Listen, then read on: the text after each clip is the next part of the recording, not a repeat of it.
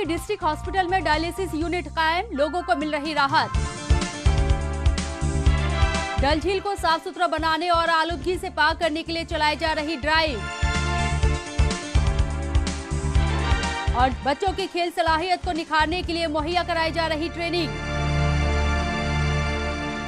नमस्कार, आदाब, मैं हूँ आपके साथ शबनम हसन और आप देख रहे हैं कश्मीर नामा बात सबसे पहले करते हैं तिब्बी सहूलियात में इजाफे की। जम्मू कश्मीर में बेहतर तिब्बी सहूलियात की फरहमी को यकीनी बनाने के हर सतह पर इकदाम किए जा रहे हैं। इसके लिए बाकायदा नए नए मेडिकल कॉलेजेस और हॉस्पिटल की तमीर तोसी की जा रही है। साथ ही पहले से मौजूद अस्पतालों में तमाम तरह की सहूलियात को बहाल किया जा रहा है ताकि मोहलिक बीमारियों का इलाज भी आसानी से हो सके। इसी के तहत कुपवाड़ा ज़िले के डिस्ट्रिक्ट अस्पताल में डायलिसिस सेंटर कायम किया गया है। इस सेंटर के कायम होने से इस ज़िले के दूर दराज के इलाकों के लोगों को बड़ी राहत मिल रही है। पेश हमारी ये रिपोर्ट।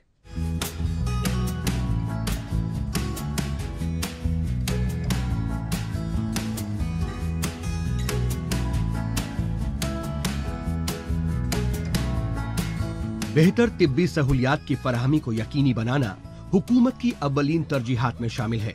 लिहाजा अस्पतालों को तमाम तरह की जदीद तरीन सहूलियात से लैस किया जा रहा है, ताकि मोहलिक बीमारियों का इलाज आसान हो सके। इसी के तहत कुपवाड़ा ज़िले के डिस्ट्रिक्ट हॉस्पिटल में डायलिसिस यूनिट को कायम किया गया है। प्रधानमंत्री नेशनल डायलिसिस प्रोग्राम के तहत इस यूनिट के कायम होने से कुदरती तौर पर लोगों को बड़ी राहत मिल रही है। काबिल ज़िक्र है कि पहले लोगों को इसके लिए श्रीनगर और दूसरे शहरों में जाना पड़ता था। मैं नौ वरी आज डायलिस करा गुजश्ता नौ बरसों से मुझे डायलिसिस की ज़रूरत पड़ रही है। इसके लिए मुझे श्रीनगर जाना पड़ता था और उसमें मुझे बहुत ज़्यादा खर्च करना पड़ता था। अब जबकि यहाँ पर इस सेंटर को कायम किया गया है तो मेरी मुश्किल आसान हो गई है। कुपवाड़ा ज़िले के हॉस्पिटल में ही हमें अब ये सहूलत मुहैया है। इसके लिए मैं हुकूमत का शुक्रिया अदा करता हूँ। गुर्दे के ठीक तरह से काम नहीं करने की सूरत में इंसान को डायलिसिस की ज़रूरत होती है। इसका इलाज काफ़ी महँगा होता है। लिहाजा लोगों को राहत पहुँचाने के लिए मुल्क भर के हर एक डिस्ट्रिक्ट हॉस्पिटल में डायलिसिस यूनिट को कायम करने का अज़म किया गया है। नेशनल हेल्थ मिशन, यानी एनएचएम के तहत इस प्रोग्राम का आगाज़ 2016 में किया गया। 2016-17 के बजट के तहत मुल्क भर के हर एक ज़िले में डायलिसिस यूनिट को कायम करने के मंसूबे पर तेज़ी से अमल किया जा रहा है। हमें बहुत खुशी है कि यहाँ पे जो डायलिसिस और ये सिस्टम बन गया, जो श्रीनगर, जिसके लिए श्रीनगर पेशेंट को दौड़ना पड़ता था। बहुत प्रॉब्लम होती थी। गरीब पेशेंट बॉर्डर एरिया के थे। उनको बड़ी मुश्किल होती थी। श्रीनगर जाने में वहाँ तक पेशेंट को बहुत प्रॉब्लम होती थी।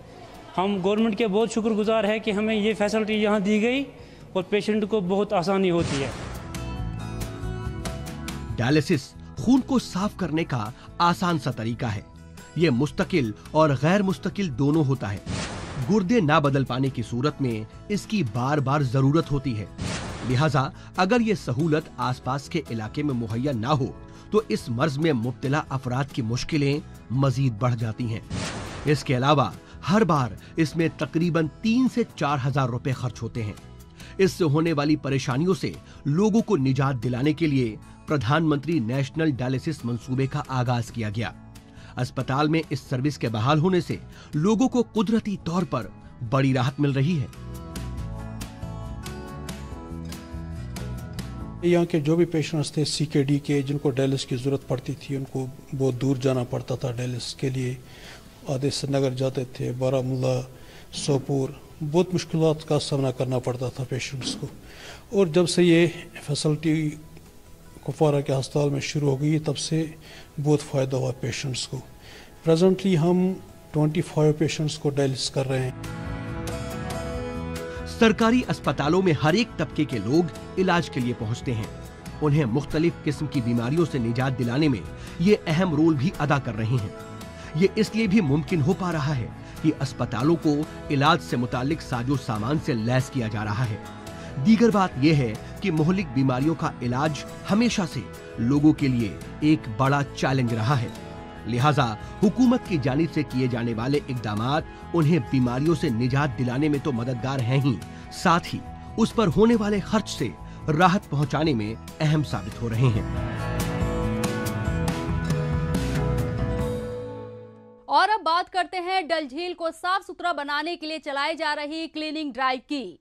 कश्मीर में मौजूद अहम सयाहती मकामात की बात की जाए तो इस लिहाज से डल झील की अपनी मरकजी हैसियत है। यानी डल झील का दीदार करना और उससे लुफ्त अंदोज होना सयाहों के कश्मीर दौरे का लाजमी मकसद होता है। ज़ाहिर है कि इतने अहम सयाहती मकाम की खूबसूरती बरकरार रहे, इसके लिए वक्तन फवक्तन डल झील की सफ़ाई की जाती है और आलूदगी से पाक रखने की कोशिश की जाती है। अब जब सयाहों की कश्मीर आमद होगी तो उन्हें डल झील की खूबसूरती के दीदार करने का तजुर्बा भी मुख्तलिफ़ होगा, जो यकीनन उन्हें सुकून बख्शेगा। आइए देखते हैं कि किस ज़ोर शोर से डल झील की सफ़ाई का काम चल रहा है। हुस्न फितरत का बेहतरीन नमूना अगर किसी को कहा जा सकता है तो यकीनन वो कश्मीर है। कुदरती खूबसूरती को अपने दामन में समेटे कश्मीर में ऐसे बहुत से मकाम हैं, जिनके दीदार करने के लिए सयाह यहाँ का रुख करते हैं।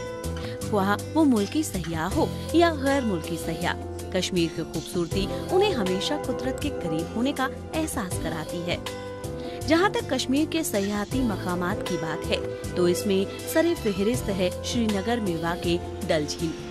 लिहाजा डल झील की कुदरती खूबसूरती को बनाए रखने के लिए एक वक्त के बाद इसकी साफ़ सफ़ाई का काम किया जाता है।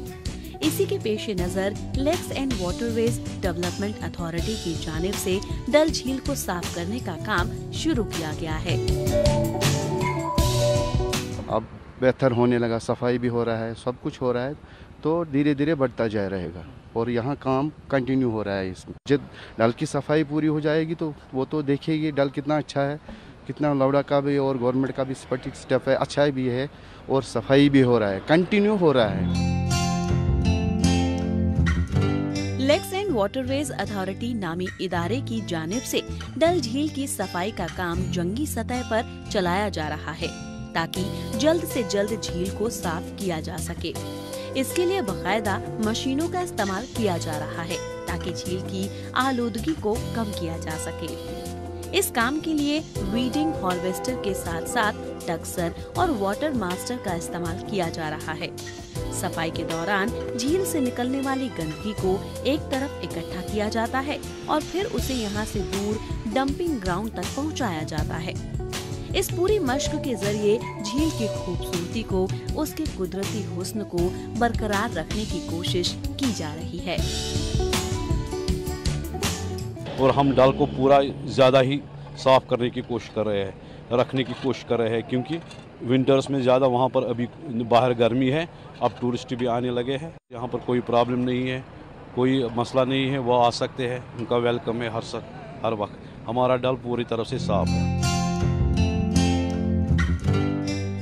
वायरस के खतरे के पेश नज़र जिस तरह से लॉकडाउन नाफिज किया गया और एहतियाती तदाबीर अपनाई गई, उसका असर कश्मीर की सयाती सरगर्मियों पर भी पड़ा है। अब जबकि रोज़मर्रा की सरगर्मियाँ मामूल के मुताबिक शुरू हो चुकी हैं, तो सयाह भी कश्मीर का रुख करने लगे हैं। हालाँकि सयाह अभी उतनी तादाद में कश्मीर में नहीं है जितनी की आमतौर पर इस सीज़न में हुआ करती थी। लेकिन इसमें इजाफे का रुझान साफ़ नज़र आ रहा है। और अगर उनको डल झील के साफो शफाफ पानी का नज़ारा देखने को मिलेगा तो उनके कश्मीर आने और हाउस बोट में ठहरने के साथ साथ शिकारी की सवारी का मज़ा भी दोबाला हो जाएगा। पहले हम, पहले इतनी सफ़ाई नहीं हो रही थी, जब से यहाँ टूरिस्ट भी आने लगा है अब, बेहतरीन होने लगा है, क्योंकि हम काम कर रहे हैं। हमने जब से देखा यहाँ से काम लगा हुआ तो पूरा साफ़ क्लियर है। हाँ टूरिस्ट आते थे, जब सफ़ाई यहाँ हो रही थी, तब भी आ रहे थे। मगर पहले लॉकडाउन से कम हो गए, अब आने लगा है। इनशाला लग रहा है मुझे बेहतरीन हो रहा है, क्योंकि अब काम कंटिन्यू यहाँ है। सयाहत को कश्मीर की मीशत की रीढ़ कहा जाता है। लिहाजा इसको फरोग देना हुकूमत की तरजीहत में हमेशा से शामिल रहा है। यही वजह है कि कश्मीर में मौजूद सयाहती मकाम की देखभाल के हवाले से हर सतह पर हसासियत का मुजाहरा किया जाता है, ताकि उनकी रौनक बनी रहे और उनकी कुदरती खूबसूरती फीकी ना पड़ने पाए। और अब बात करते हैं खेलकूद को फरोग देने की समत में किए जाने वाले इकदाम की। बच्चों में खेलकूद की सलाहियत को निखारने के लिए प्रैक्टिस के साथ साथ तरबियत ज़रूरी है। इस पर तवज्जो भी मरकूज की जा रही है और इसके लिए बाकायदा फुटबॉल कैंप का अहतमाम किया जा रहा है। ये यहाँ के मकबूल तरीन खेलों में से एक है और इसके तई बच्चों में दीवानगी देखते ही बनती है। इंतजामिया की जानब से मुनदा कैंप में उनकी शिरकत इसकी तस्दीक कर रही है। बच्चों की खेलकूद में दिलचस्पी को फरोग देने के हवाले से पेश है हमारी ये खास रिपोर्ट।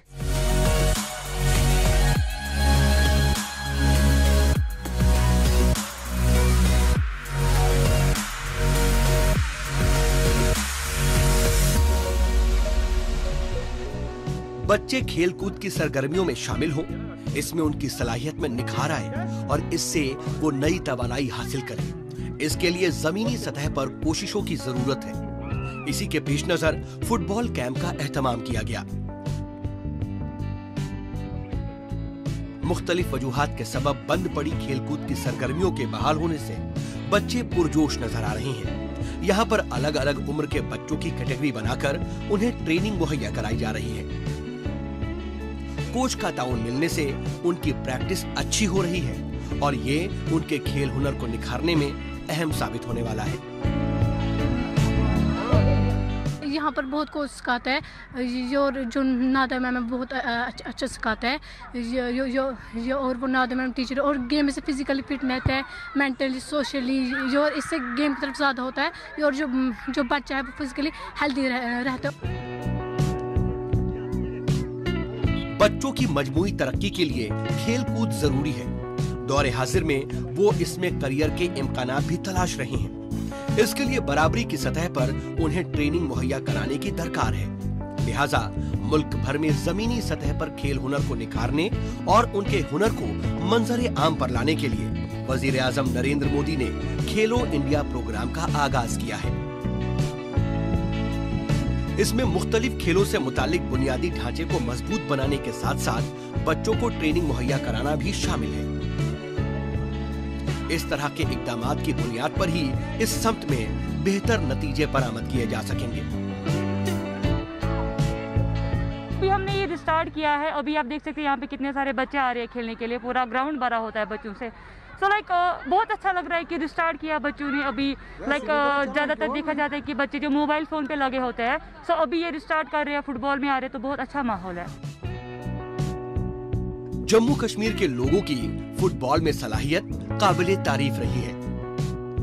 यहाँ के कई सारे खिलाड़ी मुल्की और बैन अवी सतह पर अपनी एक अलग शिनाख्त कायम करने में कामयाबी दर्ज कर चुके हैं। इनमें अब्दुल माजिद काकरू मोहम्मद यूसुफ डार, इशफाक अहमद और मेहराजुद्दीन वाडू जैसे बड़े खिलाड़ी भी शामिल हैं, जिन्होंने यूनियन टेरिटरी में फुटबॉल की मकबूलियत को बढ़ाने में अपना अहम रोल अदा किया है।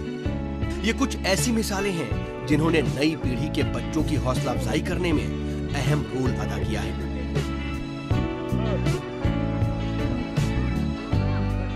फॉरेन देखो, फॉरेन में ग्रास रूट ज़्यादा होता है। अभी हमारे पूरा इंडिया में अभी ग्रास रूट कम हो रहा है। अगर उस पर ज़्यादा ध्यान दें, मुझे यकीन है कि हम भी यूरोपियन गेम खेल सकते हैं। कि थोड़ा उसके जहन में हम ये डालेंगे कि ये फ़र्स्ट हैंड बॉल देना ओपन खेलना हेडिंग करना, ये ड्रिबलिंग करना, ये जो भी इसमें किकें आ जाती है, उनको अच्छी तरफ़ सीखना, कैसी बॉडी पोजिशन लाना।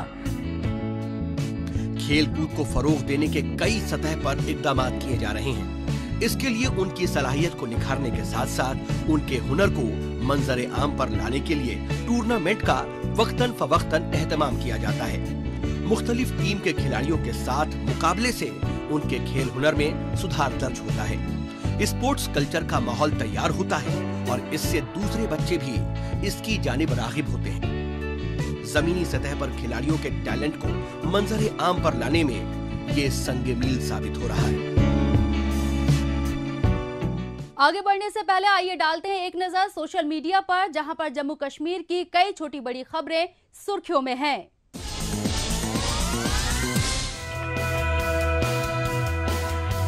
शाही जीरा की क्वालिटी और उसकी पैदावार को बढ़ाने के लिए कश्मीर के पंपोर में ब्लैक क्यूमिन कल्टीवेशन के लिए रिसर्च सेंटर कायम इसकी काश्तकारी नहीं है आसान, लिहाजा सेंटर के साइंसदा इसके लिए काश्तकारों को मुहैया कराएँगे ट्रेनिंग अब हर रोज 7000 अकीदतमंद माता वैष्णो देवी के तई पेश कर सकेंगे अपनी अकीदत। नवरात्र शुरू होने के मद्देनजर तमाम पहलुओं पर गौर करते हुए किया गया है ये फैसला। बोर्ड के सीईओ आर कुमार ने कहा कि पहले रोज़ाना के 5000 अकीदतमंदों की तादाद को बढ़ाकर 7000 किया गया। यूनियन टेरिटरी में माही परवरी को फरोग देने की सम्त में बायोफ्लॉक टेक्नोलॉजी को किया जा रहा है इंट्रोड्यूस। इस टेक्नोलॉजी की मदद से इसकी पैदावार को बढ़ाकर कमाया जा सकता है। अच्छा मुनाफा। इसमें रोज़गार के हैं वसी इम्कान बांदीपोरा के deputy commissioner doctor O S Ahmad ने गुजश्ता दिनों एक मीटिंग का किया एहतमाम। इसमें मौसम सरमा के दौरान ज़रूरी सामानों के स्टॉक और उसकी सप्लाई को लेकर तैयारियों का लिया गया जायजा, खासकर उन इलाकों को लेकर जहाँ पर मौसम सरमा के दौरान होती है भारी बर्फबारी।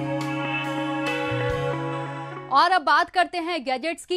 एप्पल ने आईफोन 12 सीरीज़ के चार फ़ोन लॉन्च करके मार्केट में बड़ा धमाका किया है।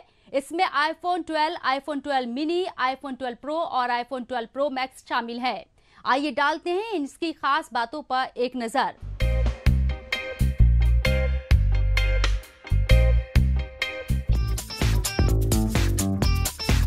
एप्पल के आईफोन 12 सीरीज़ के सभी आईफोन पानी में आधे घंटे तक डूबे रहने के बाद भी काम करेंगे। इसमें सिरेमिक शील का इस्तेमाल किया गया है, जो इसे मज़बूत बनाता है। इसकी ड्रॉप परफॉर्मेंस चार गुना बेहतर की गई है। ये 5G कनेक्टिविटी को सपोर्ट करता है और इसके लिए iOS को भी ऑप्टिमाइज किया गया है।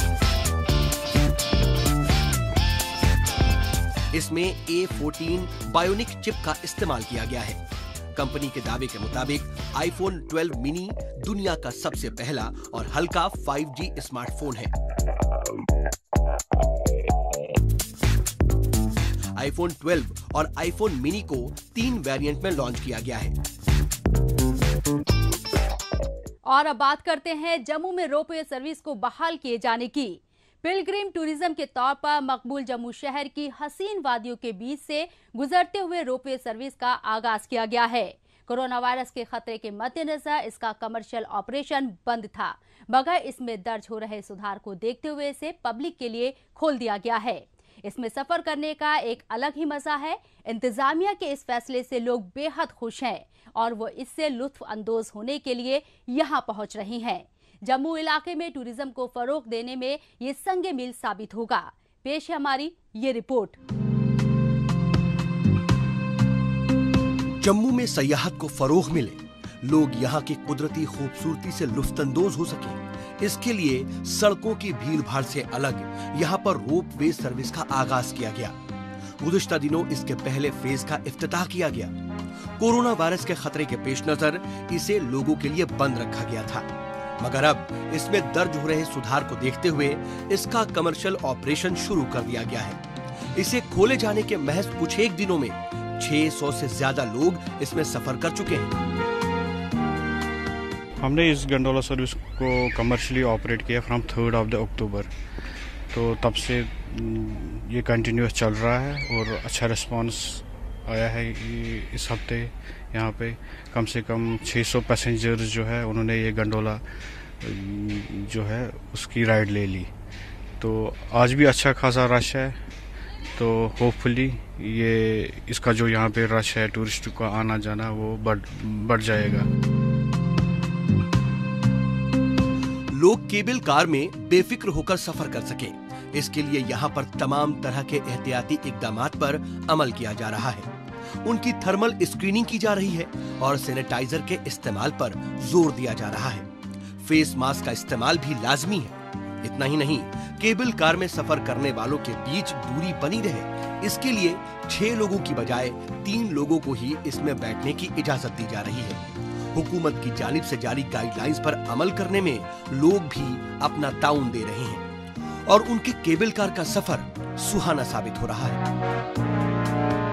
जहाँ से हम मोह माया मंदिर गए हैं वहाँ से बड़ा बहुत अच्छा लग रहा है। अब आगे, आगे से भी नीचे भी उसका बन रहा है लेकिन वो अभी तैयार नहीं हुआ है। लेकिन वो बन जाएगा तो बहुत अच्छा हो जाएगा। क्योंकि जम्मू में तो इतनी जो फैसिलिटी थी नहीं कोई कोई जहाँ पर आते थे टूर, टूरिस्ट स्पॉट को खास था नहीं। अब जब बनने से क्या होगा काफ़ी जनता आएगी और अच्छा लगेगा। क्योंकि इधर का माहौल भी बहुत अच्छा है इन्वायरमेंट भी अच्छी है। केबल कार में बैठकर जम्मू की कुदरती खूबसूरती का दीदार करने का एक अलग ही मज़ा है। बाहू फोर्ट से महामाया तक के एक आशारिया छह किलोमीटर लंबे इस प्रोजेक्ट में तीन टर्मिनल बने हैं। बाहू फोर्ट पीर खो महामाया पार्क में बनाया गया है। दूर दूर तक फैले हरे भरे पेड़ पौधे यहाँ से गुजरने वाले तावी दरिया के किनारे बसे पुराने जम्मू शहर का नज़ारा देखते ही बनता है। ये एरियल सफ़र लोगों में ताजगी पैदा करने वाला साबित हो रहा है। इस बात से लोग इत्तेफाक भी रखते हैं। और अब हम आपको ले चलते हैं एंटरटेनमेंट की दुनिया में। बात सबसे पहले करते हैं अक्षय कुमार की मरकजी किरदार वाली फ़िल्म लक्ष्मी बम की। इंतज़ार की घड़ियाँ खत्म हो चुकी हैं और मेकर्स की जानिब से इस फ़िल्म का ट्रेलर रिलीज़ कर दिया गया है। फ़िल्म के ट्रेलर को शायकीन की जानिब से ज़बरदस्त पॉजिटिव रिस्पांस मिल रहा है। लक्ष्मी बम के ट्रेलर रिलीज़ के हवाले से पेश है हमारी ये खास रिपोर्ट।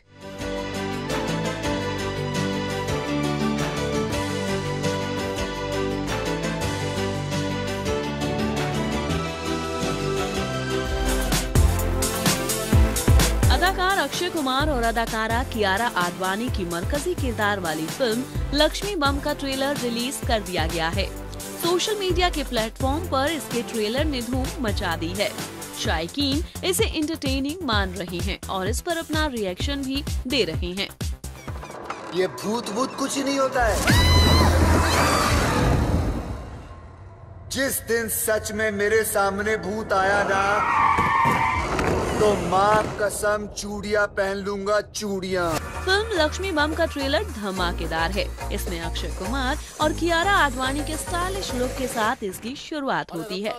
वैसे तो इसकी कहानी हॉरर पर बेस्ड है, मगर इसमें कॉमेडी का भी भरपूर तड़का लगाया गया है। भूत प्रेत में यकीन करने और ना करने को मरकज में रखकर इसका ताना बाना बुना गया है। काली परछाई देखी। इस बीमारी को सियोफोबिया कहते हैं फियर ऑफ़ शेडो यानी परछाई से डरना। सबसे बड़ा भूत तो यही है यही है वो परछाई। इसमें अक्षय कुमार ऐसे शख्स का किरदार अदा कर रहे हैं जिसका इसमें रत्ती भर भी यकीन नहीं है। लेकिन उनके जिस्म में लक्ष्मी की एंट्री हो जाती है। फ़िल्म में लक्ष्मी किससे बदला लेने के लिए इंसानी जिस्म में दाखिल होती हैं।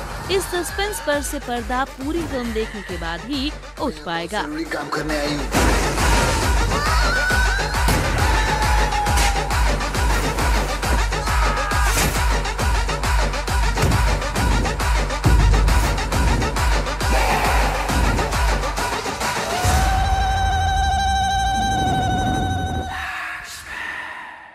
और अब बात अदाकार सलमान खान की करते हैं।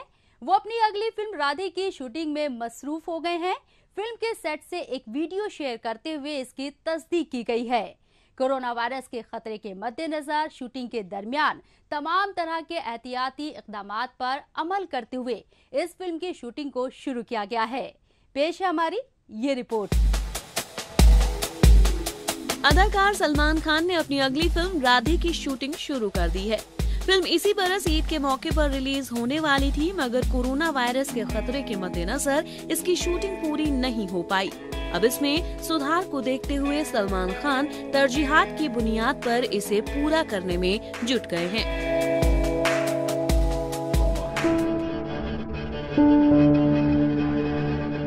मगर जो भी है इसी बात से हम सब जुड़े हुए हैं एक दूसरे के साथ। फ़िल्म की शूटिंग के दौरान तमाम तरह के एहतियाती इकदाम पर अमल किया जा रहा है। सोशल मीडिया के प्लेटफॉर्म पर एक वीडियो शेयर किया गया है जिसमें इससे मुतालिक जानकारी दी गई है। इसमें शूटिंग का पूरा हाल बताया गया है। अदाकार जैकी श्रॉफ की आवाज़ वाली इस वीडियो में बताया गया है कि किस तरह से कोरोना वायरस के खतरे को देखते हुए सब कुछ बदल गया है। मगर सब मास्क में सब सोशल डिस्टेंसिंग में है। ये कि एक्टरों को तो मास्क निकालना ही पड़ेगा डायलॉग्स बोलने के लिए। फ़िल्म की शूटिंग के सेट से जारी इस वीडियो में लोगों को मास्क पहने और सोशल डिस्टेंसिंग का ख्याल रखते हुए दिखाया गया है। फ़िल्म राधे में सलमान खान जैकी श्रॉफ और रणदीप हुड्डा समेत दिशा पटानी अहम रोल में हैं।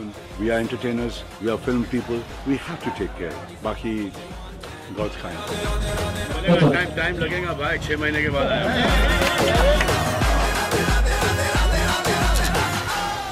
और अब बात अदाकारा माधुरी दीक्षित की करते हैं। डांसिंग के मामले में उनका कोई जवाब नहीं है और वक्तन फवक्तन इसे साबित भी कर रही हैं। गुज़िश्ता दिनों उन्होंने एक वीडियो शेयर किया, जिसमें वो गुजरे जमाने के मशहूर गाने पर डांस करती नज़र आ रही हैं। उनका ये वीडियो सोशल मीडिया के प्लेटफॉर्म पर धूम मचा रहा है। पेश है हमारी ये रिपोर्ट।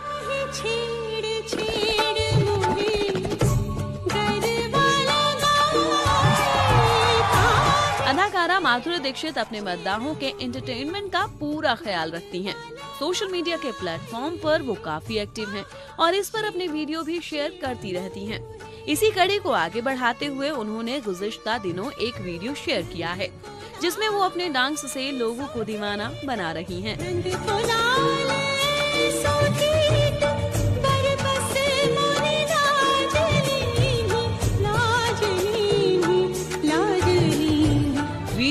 माधुरी दीक्षित फ़िल्म मुगल आज़म के सॉन्ग प्यार किया तो डरना क्या पर डांस करती दिखाई दे रही हैं। इसमें उनका लुक और एक्सप्रेशन कमाल के हैं। उनकी अदाएँ देखते ही बन रही हैं। लोग उनकी डांसिंग स्किल की जमकर तारीफ़ कर रहे हैं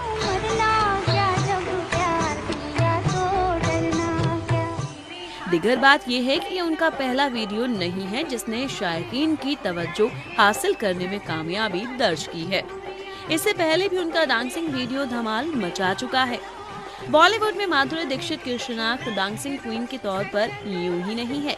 ये उनकी डांस की तई दीवानगी ही है कि वो फैंस को भी अपनी वीडियो तैयार करने और उसे शेयर करने के लिए कहती हैं।